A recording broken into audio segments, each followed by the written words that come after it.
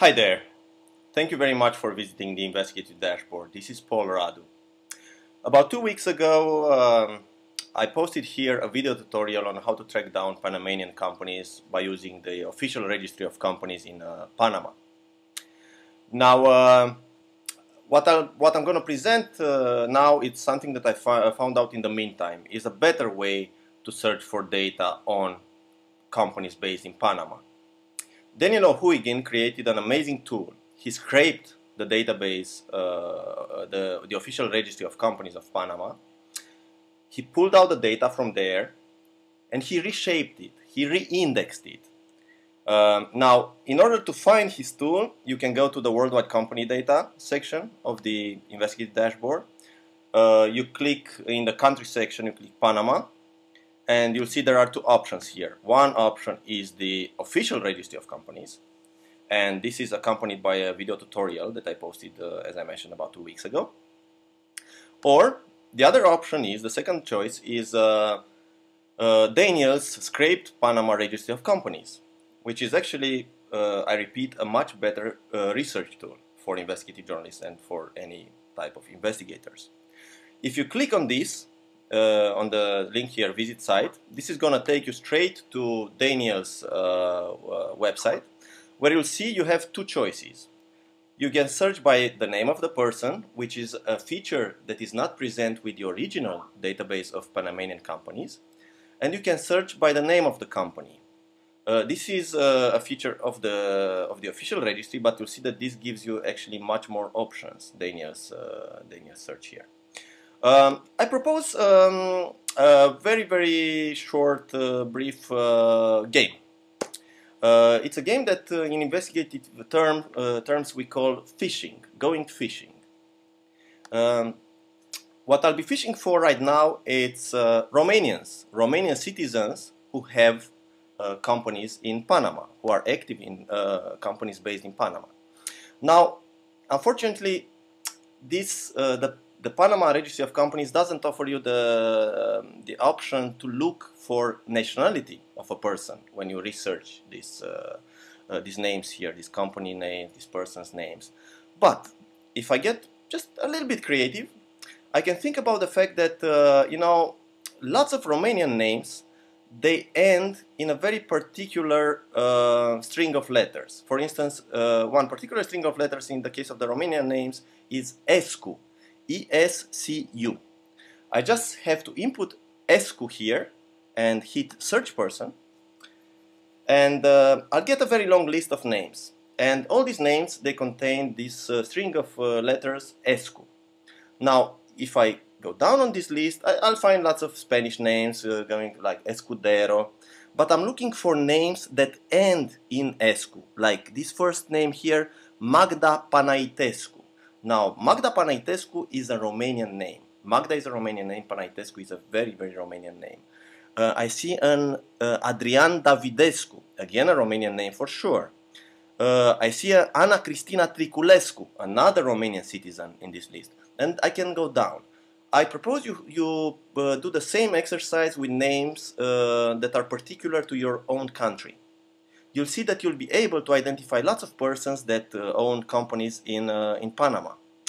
Uh, now, in this list, I, uh, I identified uh, at some point um, a person uh, who was very well known to me because she's always all over all over the, the news. and that name is Oana Niculescu. You see again is this Escu string of letters. Oana Niculescu Mizil, she's a Romanian MP, and I find uh, found out from this uh, this list here that she uh, uh, she's listed in a company in Panama called Redburn Corporation.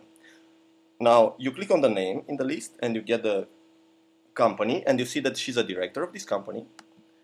You click on it, Redburn Corporation, and you see that uh, she is uh, a director together with uh, uh one Niculescu Mizil Coman Nicolae, who, uh, who's probably a relative, and with a citizen called Giorgino Grandini, who's probably an Italian. If, uh, I mean, the name at least is Italian. now, this is important. It's, it's important that I found this, this data, but you must keep in mind that this here is scraped data.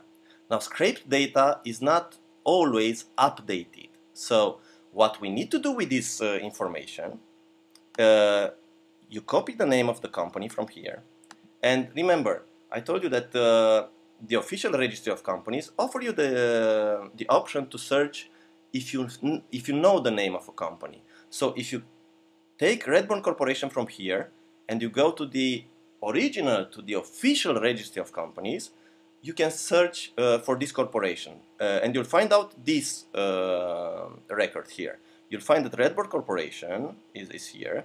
You'll find that uh, indeed the president of uh, the company is Oana Niculescu Mizil, the treasurer is uh, Niculescu Mizil Coma Nicolae, and the sec secretary of the company is one Giorgino Grandini. But you must be very careful, and this is why I say that sometimes scrape data is not updated. Um, you have to check very carefully this document. What you'll find out is uh, that this company was actually dissolved. So, tipo acta dissolución, and it was dissolved a long time ago.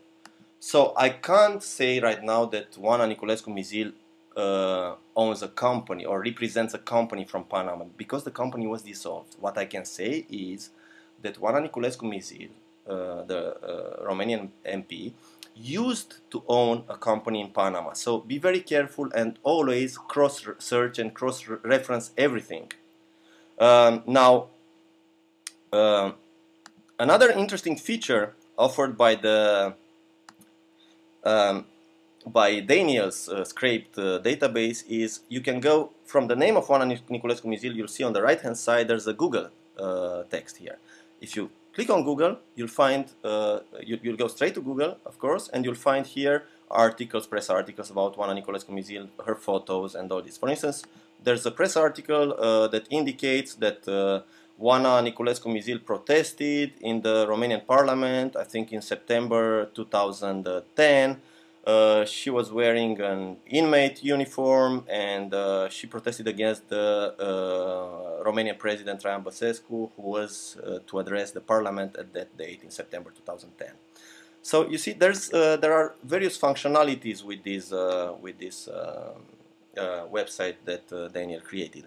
Now the other thing you can do, you know, if you click on, on a different name here, for instance Magda Panaitescu, you'll see that it gives you, uh, in, in this case, Magda Panaitescu, another Romanian citizen, she's involved with one, two, three, four, five companies.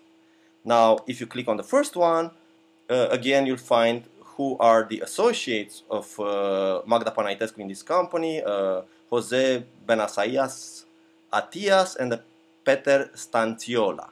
So uh, again, from here you can go to Google and find out uh, probably some other data about these persons. Uh, so this was just an example of how you can use this great tool that was created by Daniel and um, how you can go fishing. So uh, I wish you happy fishing. Thank you very much for uh, following me on this.